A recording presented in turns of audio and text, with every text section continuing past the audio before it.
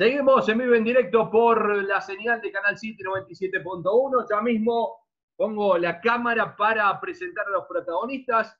Robert Ruiz de su casa, de Basilea, Suiza, el señor Franco Costanzo. Ya mismo lo saludamos y lo presentamos.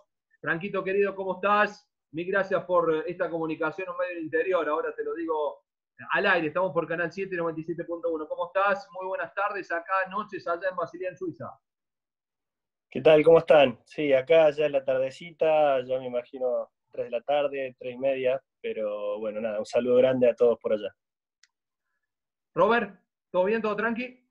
Todo bien, hermano. ¿Cómo nos escuchamos ahí? ¿Perfecto? ¿Estamos bien coordinados? Sí, sí, sí, sale perfecto. Franquito, contame un poco tus inicios en el fútbol. Me imagino, eh, debes extrañar y mucho esa cancha histórica que tiene el Club Estudiante Río Cuarto, ¿no? Hoy pasando un muy buen presente en la apasionante B Nacional.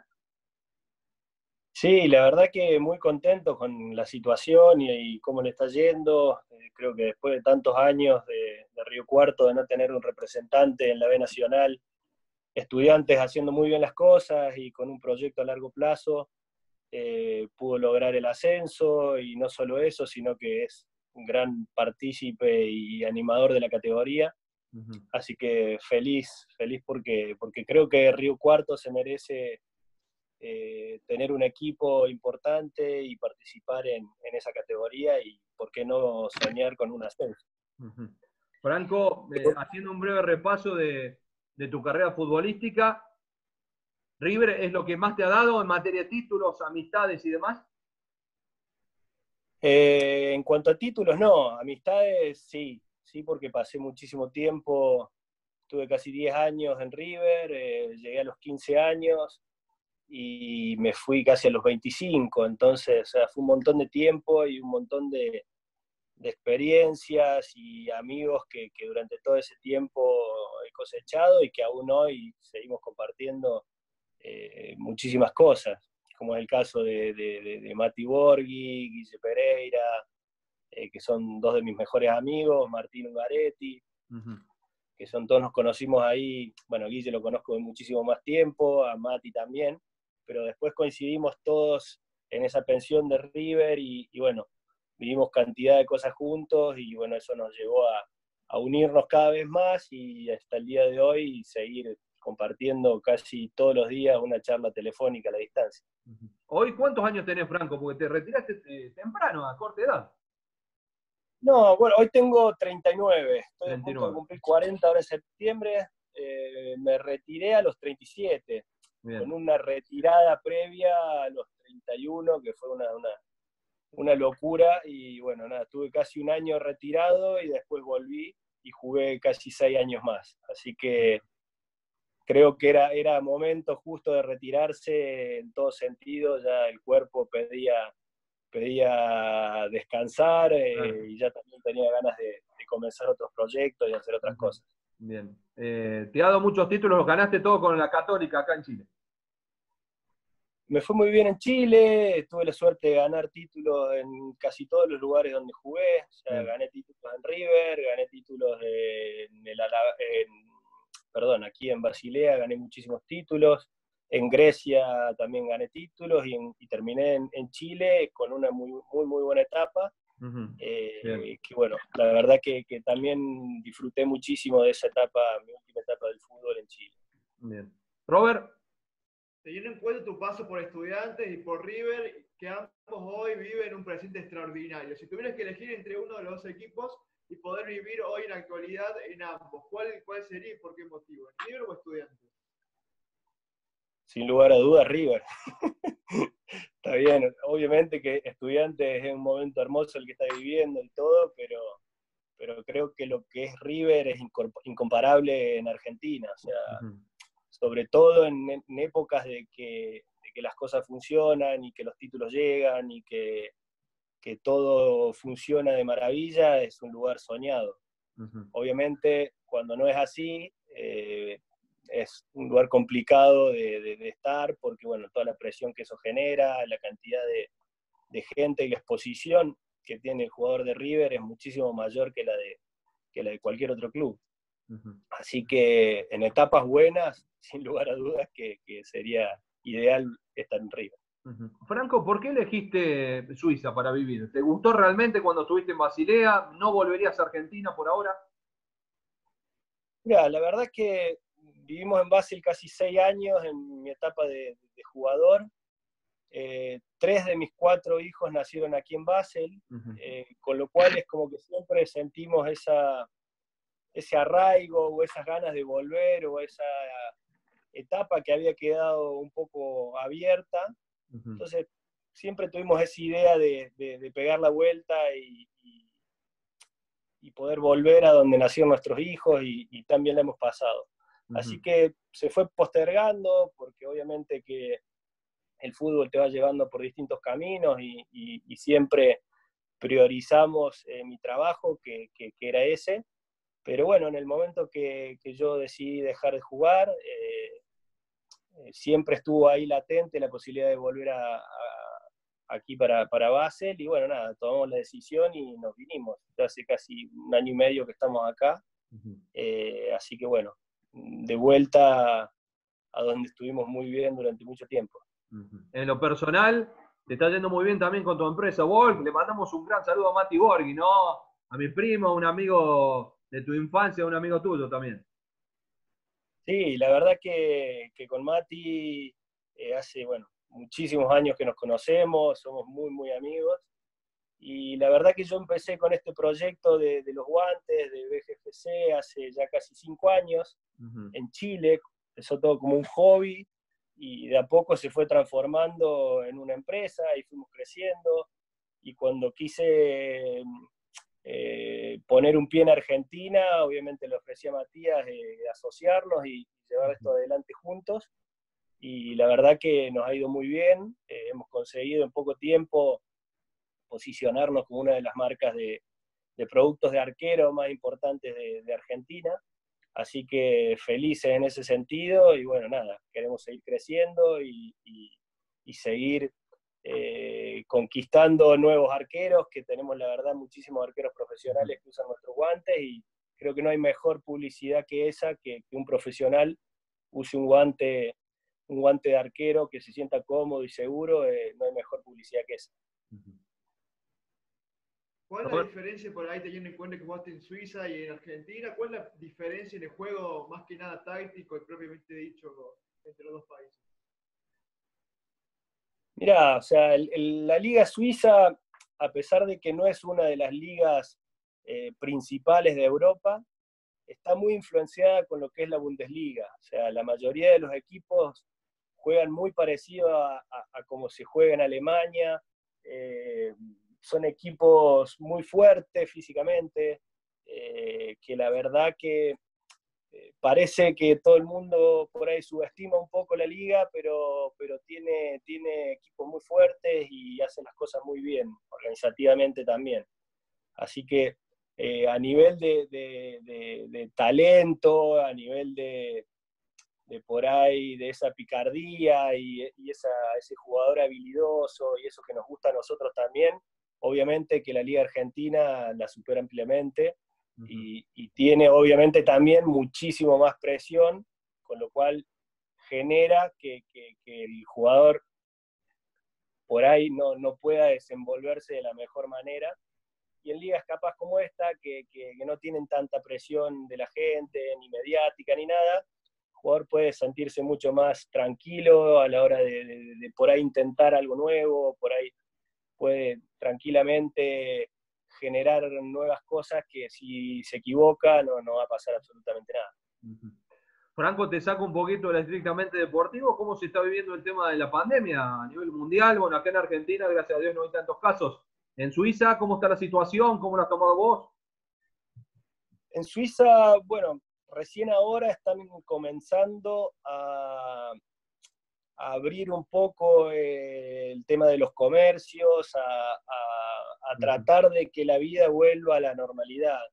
Tuvimos durante, ya llevamos casi dos meses, eh, que, todo, todo el tema comercial, solamente supermercados y estaciones de servicio siguieron abiertas, pero todo lo otro estuvo cerrado.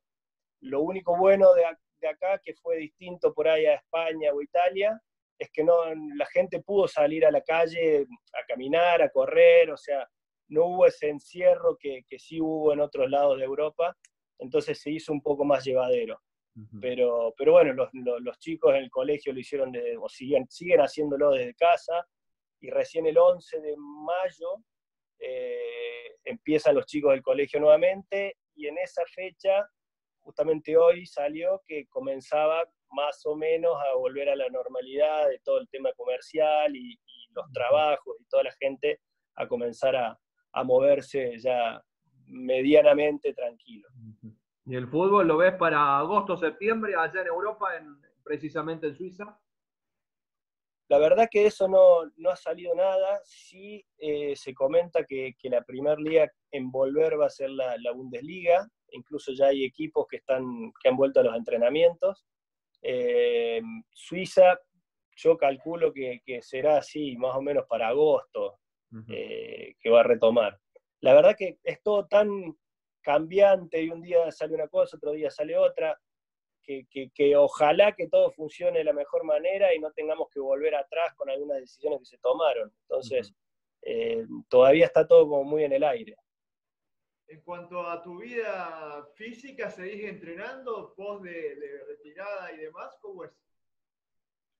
La verdad que sí, algo hago siempre. No soy un, un gran fanático de, de, de, de, de, fútbol, de jugar algún partido con amigos, así. Comencé a jugar en una liga, pero al poco tiempo mis rodillas me, me, me dijeron que no, que no jugara más, uh -huh. porque, porque bueno, no, no, no estoy en condiciones de, jugar. Pero sí salgo a andar mucho en bicicleta, de vez en cuando corro, eh, pero trato de hacer algo siempre para, para, para sentir un poco de, de que no, no, no, me estoy poniendo gordo ni, ni, ni, ni, nada de eso. Así que bueno, trato de alguna manera u otra estar siempre haciendo alguna actividad. Le cuento, en la cámara de Zoom que está saliendo al aire está intacto, ¿eh? parece en el arco River. Ah, qué bien. El maquillaje funcionó entonces. un fenómeno, Franquito Costanzo. ¿De Río Cuarto? ¿Se extraña un poco Río Cuarto? La verdad que sí, o sea, siempre siempre volvemos, yo la verdad que tenemos con mi familia, todos los años volvemos a pasar las fiestas eh, a Río Cuarto, nos vamos al Pacorral, la verdad que disfruto muchísimo de eso, mis hijos se han vuelto fanáticos de, de estar en la sierra y de compartir con sus primos, con, con, los abuelos, con sus tíos y todos ahí, así que tenemos por lo general, eh, siempre volvemos una vez al año, eh, a pasar las fiestas o, o, en algún otro momento a, a Río Cuarto, al Pacorral y bueno, nada, lo disfrutamos muchísimo. De River, de River, contame un logro deportivo, contale a la audiencia y qué recordás lo más importante del millonario. Y la verdad que eh, los títulos, o sea, porque probablemente uno nunca ve lo que, lo que cuesta o que lo que le cuesta al jugador de fútbol Uh -huh. eh, llegar o mantenerse o, o, o, lograr alguna vez algún título, ¿no? Hay jugadores que, que de, de, de, gran trayectoria y que han jugado muchísimos años en clubes grandes y, y nunca han podido conseguir un título. Y, la verdad que nosotros nos juntamos un grupo de, o coincidimos un grupo de, chicos que nos criamos casi juntos en la pensión eh, y, nos lo, y, logramos obtener dos o tres o cuatro títulos consecutivos y, y, una generación que, crecimos juntos. Entonces eso, disfrutarlo casi como, como entre amigos, eh, ganando en, en, un club tan importante como River, fue algo eh, increíble. Creo que no, no, no, ha habido muchas generaciones de, de, River que hayan compartido tanto tiempo juntos en, en la pensión o que hayan salido 10, 15 chicos de, de, de, la misma generación y terminaron jugando todos juntos en primera y consiguiendo títulos. Entonces yo creo que eso fue, fue lo que más recuerdo, lo que más disfruté también en su momento. Uh -huh. Seguramente en tu paso por la Liga Española has compartido cancha, aunque sea de manera rival, con Messi y seguro que te queda alguna anécdota. Sí, sí, sí, jugué, en realidad jugué tres veces contra, contra Barcelona, una vez en España cuando estaba ahí jugando en el Alavés, que él recién empezaba a hacer sus primeros partidos, Y después me tocó jugar Champions League con el Basel contra, contra Barcelona. Y bueno, nada, imagínate que, jugar eh, contra él y contra todo ese Barcelona que, después terminó ganando la Champions League, el equipo de Guardiola, eh, era una locura. O sea, la verdad que eh, era más para sentarse en la tribuna y verlo jugar que para estar en el arco. Se disfrutaba creo que más, más. Así que sí, sí, me tocó jugar en contra, obviamente me hizo goles los dos partidos, así que puedo llegar a contarle ahora a mis hijos que ya lo conocen, incluso eh, nos hemos sacado algunas fotos una vez que nos hemos cruzado, eh, que nada, que me hizo goles Messi, el más grande de todos. Más allá de tu negocio personal, por ahí te gustaría seguir ligado al mundo del fútbol, ser como dirigente, como entrenador o alguna de esas profesiones. Estoy ligado eh, al fútbol, trabajo para el Basel, trabajo para Basilea, soy como un embajador en Sudamérica del club, eh, el club busca eh, dar ser en Sudamérica y, busca generar nuevas posibilidades de, negocios y, bueno, eh, después de presentar un proyecto hace un tiempo en el club, se dio la posibilidad de, tener este nuevo puesto y, la verdad que hace un par de, meses ya que estoy trabajando y feliz, obviamente que sí, porque es lo que me gusta, es de lo que por ahí, después de tanto tiempo de estar metido en el medio, experiencia eh, sobra, eh, entonces eh, está buenísimo porque te mantiene hablando con gente conocida, con amigos, con ex compañeros, que justamente toda la generación que están cumpliendo ahora 40 o 45 o hasta un poco más grandes, son todos los que hemos jugado y hemos sido toda una generación y una camada muy grande. Entonces, hoy por hoy toda esa gente o es técnico, o es director deportivo, o es dirigente, o son representantes. Entonces, todos nos conocemos y, bueno, eso simplifica muchísimo las cosas. Contarle a la gente, a la audiencia, Franco, te saco un, poco de, lo, de, la, de, la, entrevista en sí normal. Eh, ¿Alguna anécdota que, se pueda contar al aire, que te haya pasado en una cancha? A ver. Anécdota. Ah, yo siempre le cuento a mis hijos y nunca me creen. Sí. Una vez estaba en cancha de central, o sea, una locura en realidad, o sea, una anécdota, no, no es gracioso y pudo haber pasado algo feo, pero bueno, por suerte no pasó. Que en, la, el arco que da la, la, tribuna, la, la, popular de central, eh, cuando estaba por empezar el partido, o sea, yo me acerco al arco, y antes que empiece el partido, estaba más o menos alrededor, del punto del penal, por ahí, y un momento empiezan a caer la punta, punta de paraguas, así como la, la U del paraguas, así, y quedan clavadas en el piso, así, pac, pac, quedan clavadas. Esos paraguas negros, ¿viste? Esos paraguas viejos. Y cuando saco así del, del, del piso de ese entierro, y tenían como unas puntas así los paraguas. Yo digo, esto me pega en, la espalda y me, hace un hueco. Es verdad. me fui para adelante, le digo al árbitro, imposible, le digo, jugar con esto, o sea, que me tiren una piedra, pero no, no, no que me tiren un cuchillo desde la tribuna. Así que siempre cuento esa anécdota para decir, mira el nivel de, locura que por ahí se vive. verdad. Vos lo tirás, pero y, si le pegás y realmente te, porque eso era, te, hacía, un hueco realmente. Así que esa es una anécdota de, una, una, de las tantas que puede haber, ¿no? Pero, pero siempre me acuerdo de eso y me acuerdo eh, en un tono de gracia, pero que podría haber sido, la verdad, lamentable. Franco, eh, ahí va, ahí va Robert. Dame dos segunditos porque te quiero preguntar de eso.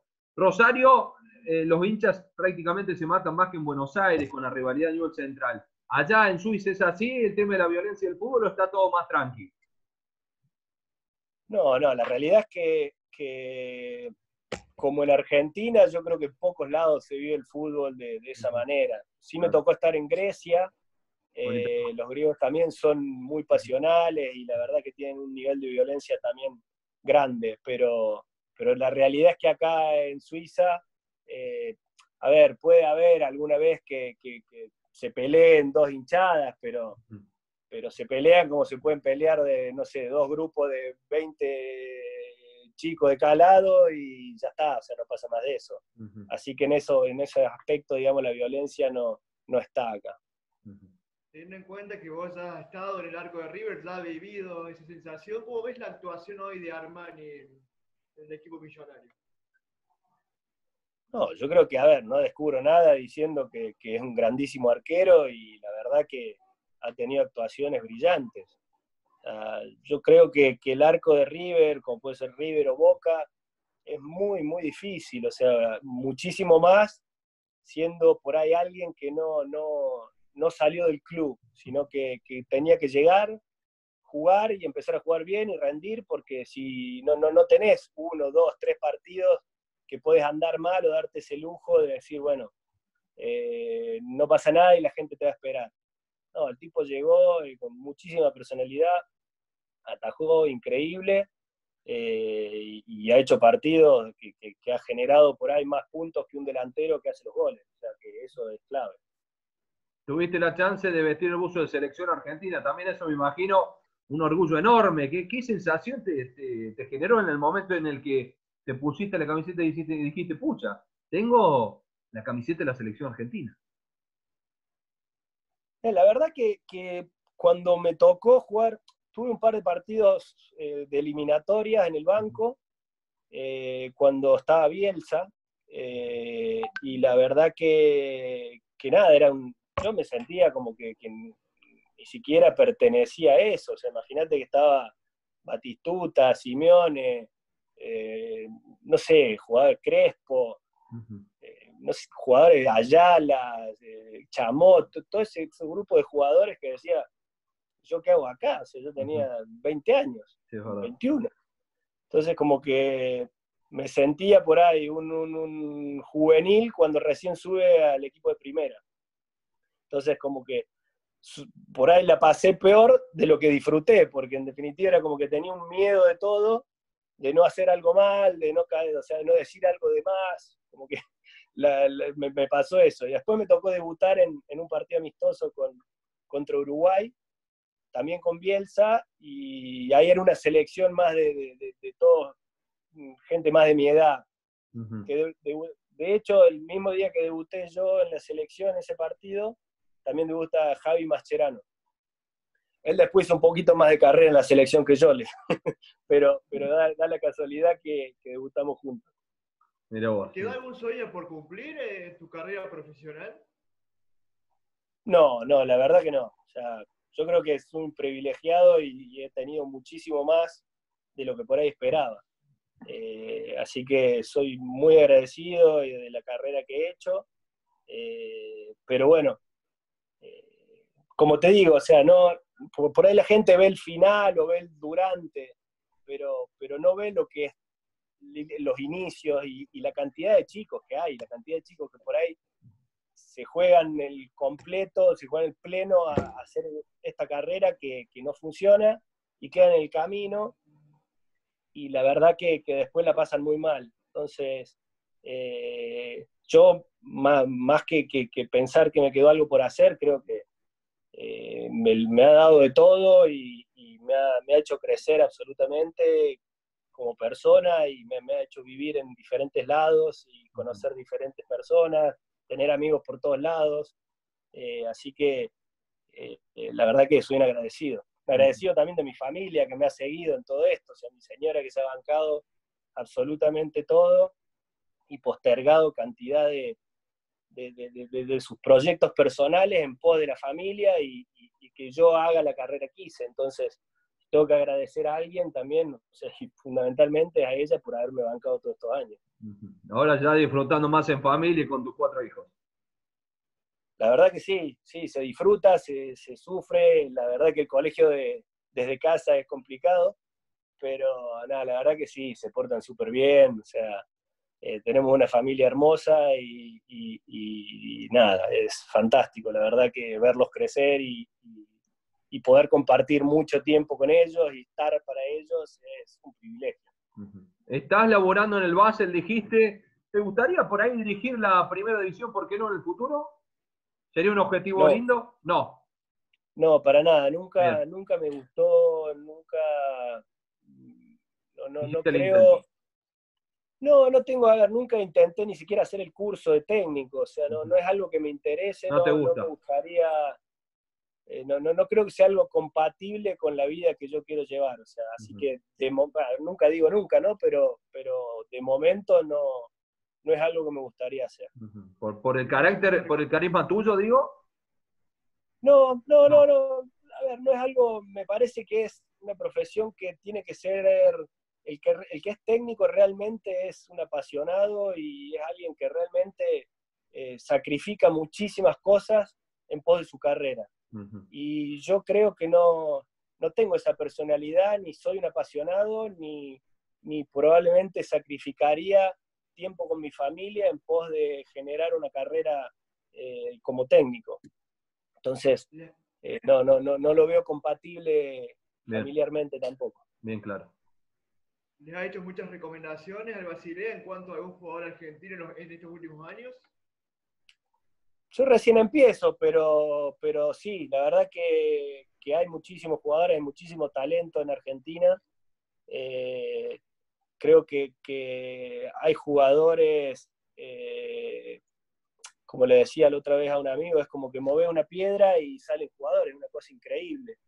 Eh, obviamente que no solamente buscas el jugador que juegue bien, sino que también se puede adaptar, que sea un jugador que, que, no, haga, no te haga quedar mal, más allá de que sea buen jugador o no. Entonces hay un montón de cosas que también están involucradas en un perfil de jugador que se busca, ¿no?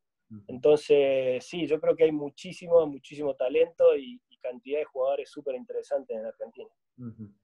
Franco, eh, ya una de las últimas, vamos cerrando porque estamos llegando a los 40 minutos. Eh, respecto a... Mm, fuiste arquero de muchos de los clubes ¿Y qué mensaje le das a, por ahí, el arquero, el guardabate que se está viendo o escuchando acá en la radio, en la tele, vía Zoom, en la página? ¿Quiere decir que realmente se puede llegar con sacrificio, con esfuerzo, con dedicación?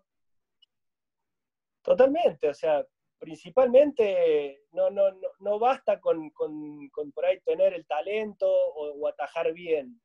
Eh, implica muchísimas cosas más. O sea, eh, implica sacrificar muchísimo tiempo familiar y, personal, implica tener una conducta que, te permita, digamos, eh, estar físicamente bien y, entrenar todos los días. O sea, yo creo que, el jugador de fútbol, no solo el arquero, los jugadores que llegan realmente son, son, son Fórmula 1. O sea, jugar profesionalmente eh, al fútbol en Argentina, hay una competencia tan grande que, por ejemplo, vos te subís a cualquier taxi en Argentina y te dice, no, sí, yo fui jugador, me rompí la rodilla. O sea, todo el mundo quiere ser jugador y todo el mundo lo intentó.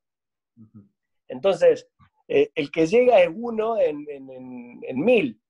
Eh, con lo cual, no, quiero desalentar ni muchísimo menos, pero me parece que, que, que sí poner paños fríos y decir, bueno, yo no abandonaría todo, toda mi vida en pos de, jugar al fútbol. Sí lo haría, pero siempre estudiando, siempre eh, esa parte, digamos, de, tu vida no la puedes dejar de lado en pos del otro. Porque si lo otro no se da, por ahí, como le pasó a cantidad de compañeros míos, se encuentra que quedan en el aire y flotando sin saber qué hacer. Entonces yo creo que se puede hacer, o sea, yo terminé mi colegio secundario y siendo jugador de, primera división como cantidad de otros casos, ¿no? Entonces, me parece que no solo darle prioridad a la parte deportiva, sino que nunca dejar de lado lo otro, porque también uno nunca sabe qué va a pasar en lo deportivo y teniendo la, otra parte eh, asegurada o por lo menos que te permita seguir adelante con una carrera o seguir adelante con algún tema eh, de, estudio, me parece que siempre es bueno. Robert, ¿te queda alguna? Ya vamos cerrando a poquito, nos quedan los últimos cinco minutitos. Sí, considerás, Franco, que hoy la posición de, bueno, de arquero está, hay mucha población acá a nivel argentino, ¿por qué no también a nivel mundial?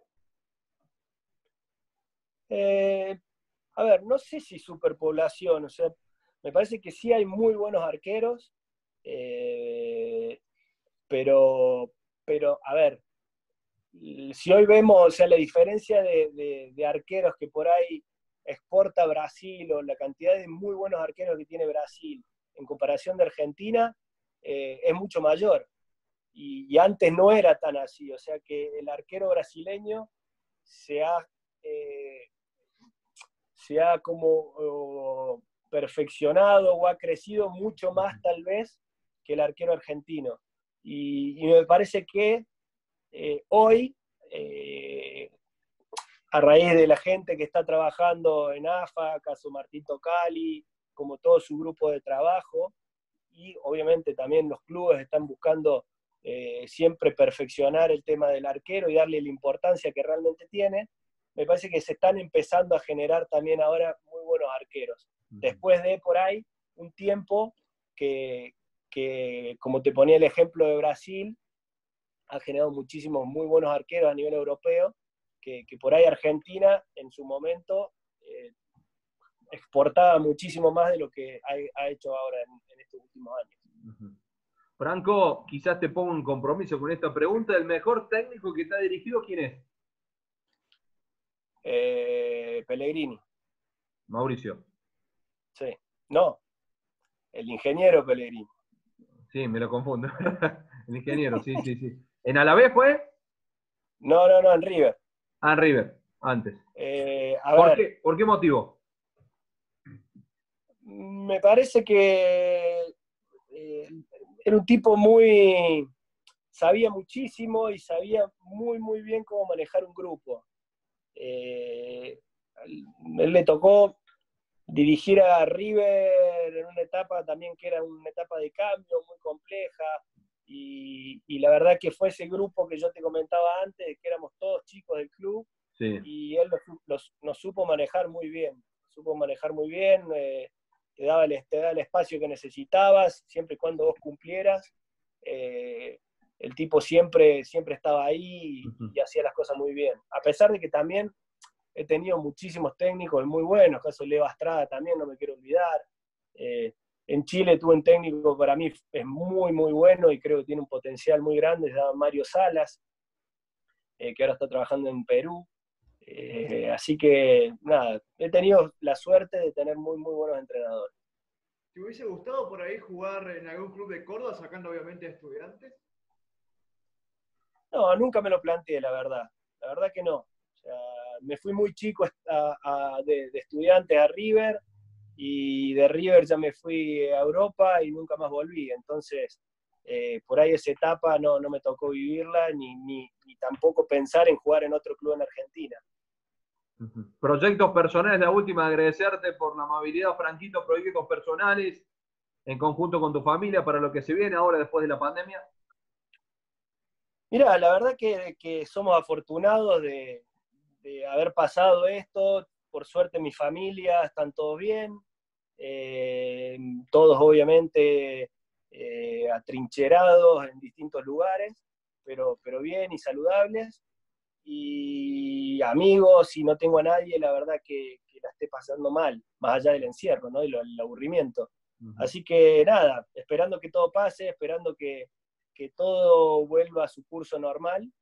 Y bueno, deseando lo mejor para todo el mundo. Franquito, estamos cerrando el programa. Mil gracias nuevamente. Gracias por tu humildad, por atender un medio del interior de la ciudad de Córdoba en este caso y que sigan los éxitos ahí en el Basel de Suiza. Muchísimas gracias. Un abrazo grande. Un abrazo grande. Bueno, hasta ahí la palabra del señor